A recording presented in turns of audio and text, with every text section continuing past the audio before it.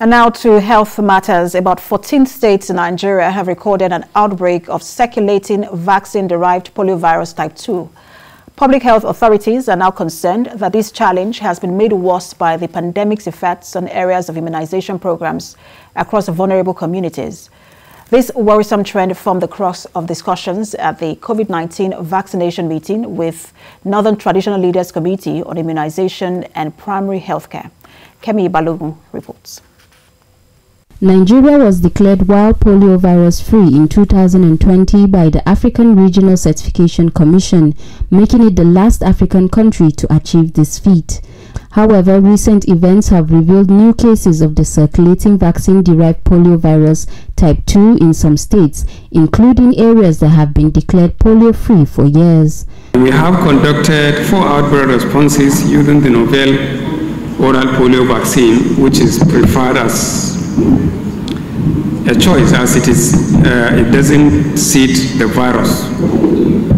However, some optimal performance has been recorded in all the states due to high numbers of missed children uh, during the outbreak responses. One is continuing routine immunization to save those nearly 2,000 children a day who die as a result of not being immunized. Vaccine can help boost routine immunization. Over the next two years, there will be a malaria vaccine. The second quarter review meeting with the Northern Traditional Leaders Committee is coming on the heels of this development, and the Northern leaders are ready to ensure that their support and that of their communities is unwavering. As cases of uh, CVDP2 continue to spread, even in states that have been polio free for nearly seven years. Added to this is the scourge of COVID-19 and the challenges of educating our people enough to create demand and acceptance for the vaccine.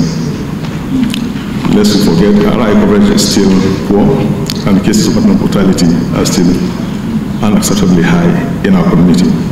With the outbreak of the COVID-19 pandemic and others before it, the invention of vaccines became a pillar towards ending them, but vaccine hesitancy continues to also still be of concern to experts here. One of the community engagement strategies we have initiated to mitigate this challenge is to conduct is the conduct of town hall meetings to address concerns of the general public and increase the uptake of COVID-19 vaccines. The World Health Organization supports achieving herd immunity through vaccination to prevent unnecessary cases and deaths.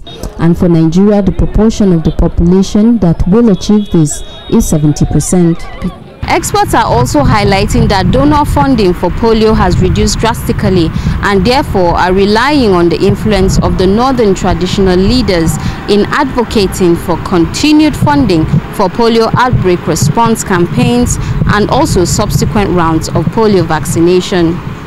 Kemi Balogun, TVC News, Abuja.